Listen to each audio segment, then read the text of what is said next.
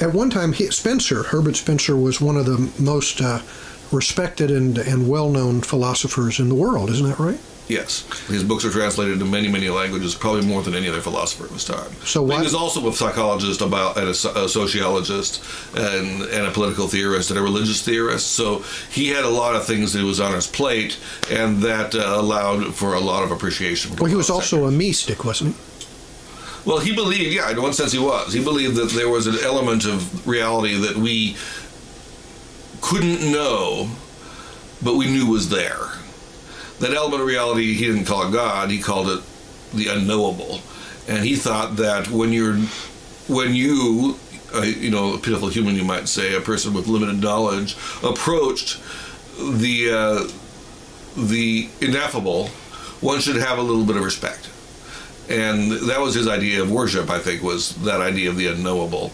And uh, though I find it a rather peculiar notion, uh, it was very, very important in Victorian England. Well, it's important now. There, I mean, it it it um it necessitates a certain degree of humility in any any in everybody. Right. And that was actually one of his points. He says that the, the more we expand knowledge, the boundaries of our nescience become clearer. And nescience is being the absence of knowledge. And he was a great appreciator of just how little we knew, and he thought that people should be circumspect in that. Uh, many people found irony in the fact that he was a person who was a lover of facts and a collector of facts and a collector of theory Well, yeah, and a deviser of theory, and went on and on and on about what we knew. Uh, but but th- and that's what he did, and that's what we can't help but doing. As human beings, that's what our job is: is to learn more. Uh, Well, why has he fallen out of favor? Oh, well, he's fallen out of favor primarily first because he was a libertarian, and in 1900, being a libertarian was not going to be a popular activity for anyone. Uh, that was the beginning of the end of of, of uh, the age of liberalism and the beginning of the, the age of socialism and war. Well, how do you define liberalism? well, how he defined liberalism and how everybody defined it in the 19th century, which was as the uh, the support for the rule of law and, uh, uh, as, as it pertains to individual liberty. Liberal pertains to liberty. It pertained to restraining the state and limited government. That's what it was. Uh, liberal was for was the kind of people who were against warfare as a policy, thought the military men were very very dangerous, and preferred diplomacy, and the liberals also uh, wanted free trade and thought that was the answer to the problems of uh, uh, inter-community warfare and uh, in interstate warfare, because, which kept on coming up. And as soon as people traded with each other, they, they realized that they'd be in bad shape if they went to war. Well, we've- we we've- found that out. We've since found out that the state is an important protector of individual liberty, though. So, a, a blanket dismissal of Well, he didn't. He didn't dismiss the state. He had, in fact, uh, large sections of his book, Social Statics, uh, devoted to the duties of the state. I would say there are almost as many chapters on the duties of the state as there is the charge uh, of chapters on the limits of the so state. he came to accept the state and, and support it. Yeah, he did. That is true. So, what kind of a libertarian could he have been, really? He, That's what he, libertarians accept- are. he accepted modern liberalism, the idea that the state is necessary and can do good. He well that's not what modern liber- liberalism is. The Well- modern liberalism is the, is the idea the maximum maximum unlimited state can mess it about in every area of life uh, and do good. And he didn't believe that at all because he knew that there were extreme limits to state power and state competence. And in fact he was worried about competence. And what is it that makes us learn from our actions? And that's what he was a social theorist and that's one of his uh, that's one of his inquiries and he knew real he knew good and well that the that uh, bureaucrats and politicians uh, lumber along on a, on, a, on a track that is not very efficient and actually does a lot of harm.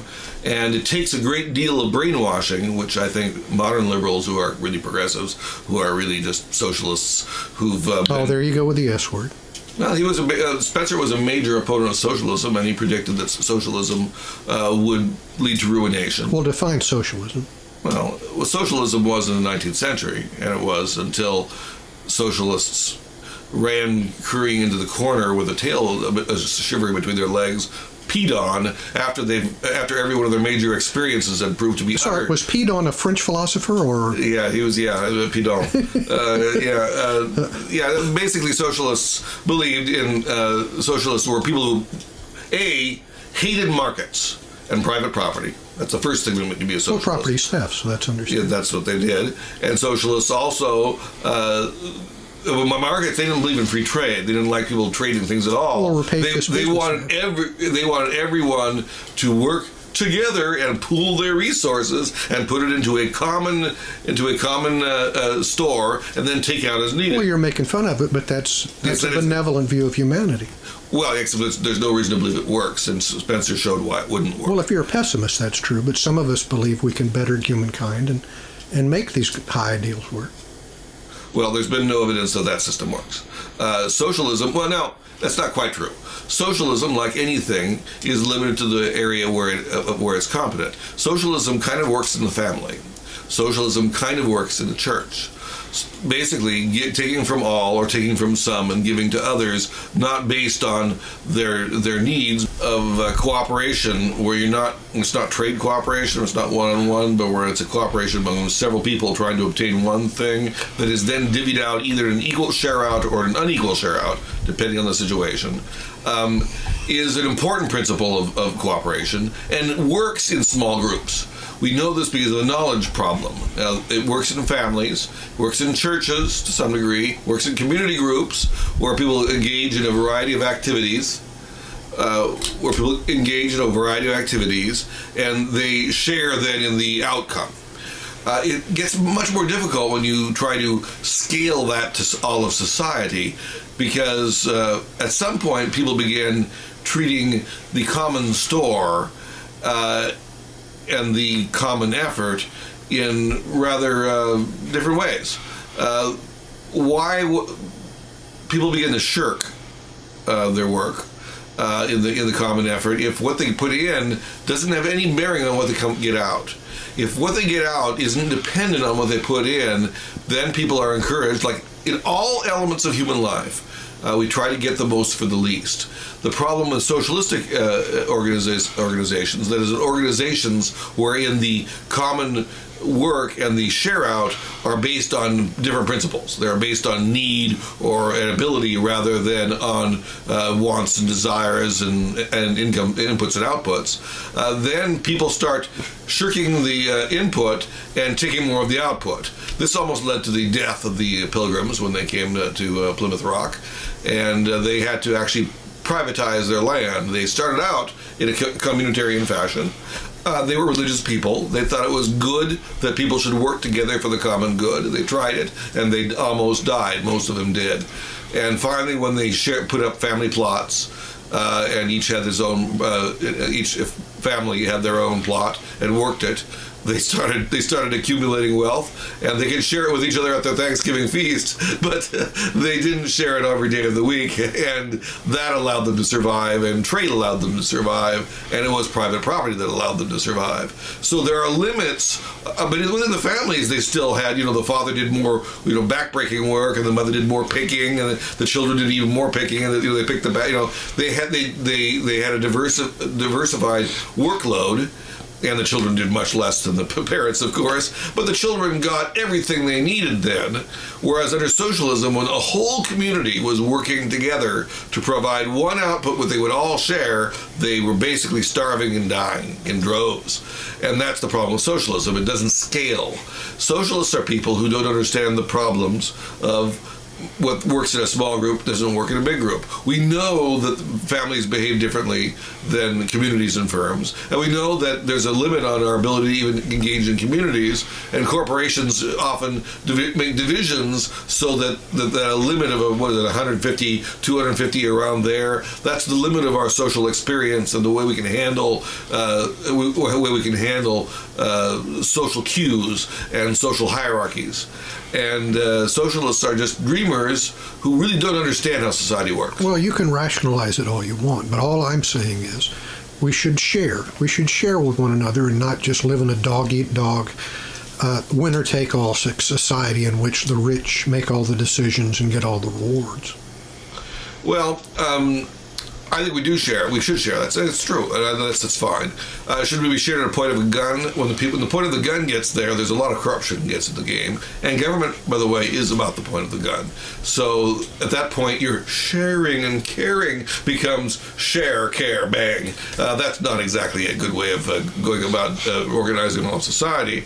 And dog eat dog is a peculiar institute uh, uh, phrase since I've ever never actually seen a dog eat dog. I've seen dogs eat dog poo but I've never seen dog eat dog. So it's a very bizarre little uh, phrase. And we don't, in a market society, eat each other. What we do is we trade with each other, which is cooperate, which is actually share. Is that I share my ability to do this with the person who hires me, and and and he gives me some money, and then uh, I go out and uh, share my money with some other guy who gives me food. And there's a lot of this sharing going on, but we do it on, on a rational basis, and it turns out that we actually advance and get better because we can actually calculate our advantages, and we have some standards for achievement, and it gives us some really good incentives to do better.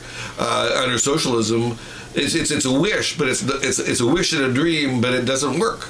And if it doesn't work, we can't advance it as, a, as anything that's workable or that's anything good. If it doesn't work, it's not good. If it cannot work, it is not good. It, it becomes an well. evil. We've seen that, for instance, the capitalist system doesn't work either, as as the recent crash shows. So we need to move on to some third way, obviously. Well, we were in the third way, and that crashed. I mean, to say, pretend that we had laissez-faire would be, of course, uh, silly. Uh, we did not have laissez-faire. Laissez-faire, I think, works better than a managed system, managed by people who don't know what they're doing, and in fact, yeah, yeah, I know. You think the market always finds out what's right. Well, there's some kind of magic power to it. Well, there is a kind of a there's an interesting. It's not a magic. It's just feedback loops. It has feedback loops, and in politics and bureaucracy, the feedback loops are very, very. Uh, disorganized, stretched, broken, uh, distended. They just don't work very well. I mean, we, there's, there's a whole de- developed sciences of this, and if anyone were interested in, in learning about it, they could actually look it up. Who, who would you go to as a good example? Well, I mean, uh, bureaucratic incentives. You can go to Niskanen. Uh, the whole uh, economics of politics uh, started with a number of people, including Tullock and Buchanan. And uh, there's a lot been written about this, but some of this is very old knowledge. The classical liberals knew the limitations of human ability, and therefore they wanted limited government to make sure that people didn't go beyond their, uh, uh, their competences. And uh, we're simply incompetent in areas where we do not have decent feedback loops. Government does not provide that feedback loop. Democracy is the clunkiest device known to man. Oh, so you're against democracy? No, I'm just now saying we're that, putting our cards on the table. Well, I'm actually for the kind of democracy that people of the world want. We want the democracy that people have rights to live their lives and choose what they want to do, and uh, that and that's backed up by a government that's limited and controlled somewhat by the people. Well, this is what we've got. That we have elections. Yeah, but they only work. They don't work very well, especially when you hire somebody to do something and they do the opposite, and you can't get rid of them. And then he says, "Well, at least he's better than the next guy." There's a lot of weird, weird incentives in politics, and uh, certainly I prefer that some things actually be done directly by the people. But I don't want the people to be deciding whether we're going to kill Jews or not. We want a rule of law. You know, we, we don't. We want a rule of law that protects minorities and individuals. It's down to the individual letter, level we want protected. We want the rights. And some people around the world just think of democracy as a system that provides us our rights, and the rights to liberty preclude a lot of things that the modern state does, and and makes us worse off than we would otherwise be.